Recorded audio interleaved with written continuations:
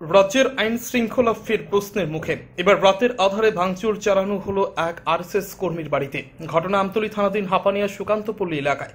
দীর্ঘদিনের আরএসএস কর্মী নবজ্যোতি ঘোষ এই এলাকার বাসিন্দা। সোমবার রাত আনুমানিক একটা নাগাদ তার বাড়িতে হামলা চালায় দুষ্কৃতকারীরা। ঢিল ছোড়া হয় মদের বোতল দিয়ে। শব্দ পেয়ে বাড়ির লোকজন দেখেন ঘরের কাচ ভাঙা। তবে তারা কাউকে দেখতে পাননি, ছুটে আসে এলাকার লোকজনও। ঘটনায় হতবাক নবজ্যোতি ঘোষ। হচ্ছে দুঃখজনক ব্যাপার হ্যাঁ কি হলো? কারণ আমি তো প্রত্যেক মানুষের নিয়ে চলতে চাই। কিন্তু এখন একশো জনের মধ্যে পাঁচজন খারাপ, এটাও আমি জানি। কিন্তু কে বা কারা আমার পেছন থেকে এইভাবে খারাপ ইয়েতে করছে ওইটাও আমি ঠিক জানি না। হ্যাঁ তারপরে আমি সবাইকে আগেও ভালোবাসি, এখনও ভালোবাসি ভালোবেসেই যাব।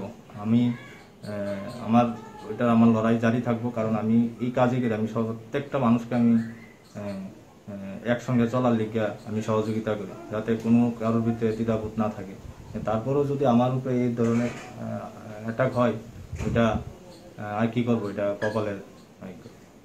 বন্ধু তো অনেকেই আমার আছে। কিন্তু আমি এখন হঠাৎ করে নাম বললে তো আমার এটা হয়তো না। কারণ আমি ঠিক জানি না কে বা কারা করছে।